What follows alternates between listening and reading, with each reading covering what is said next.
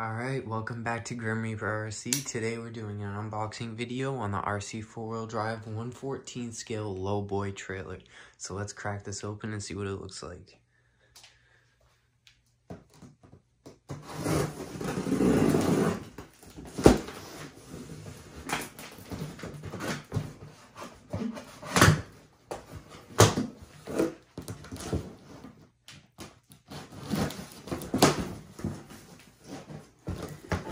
So this trailer is from JD Customs and it is 15 inches wide.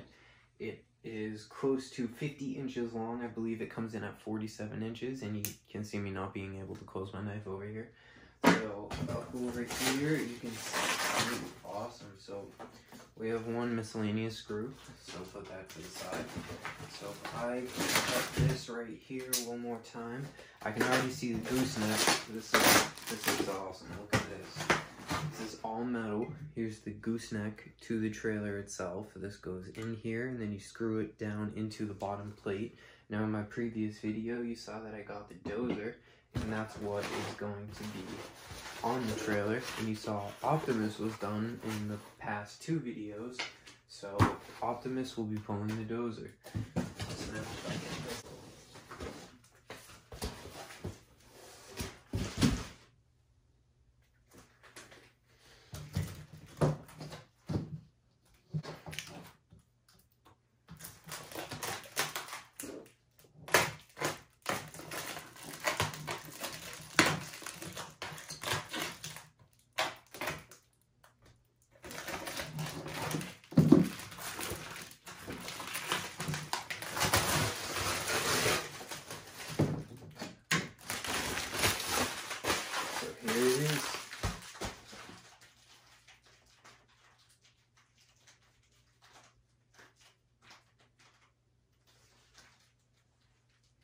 So here it is with the dozer on the lowboy with the fifth wheel attachment on the front. You can see the Optimus trailer in the back.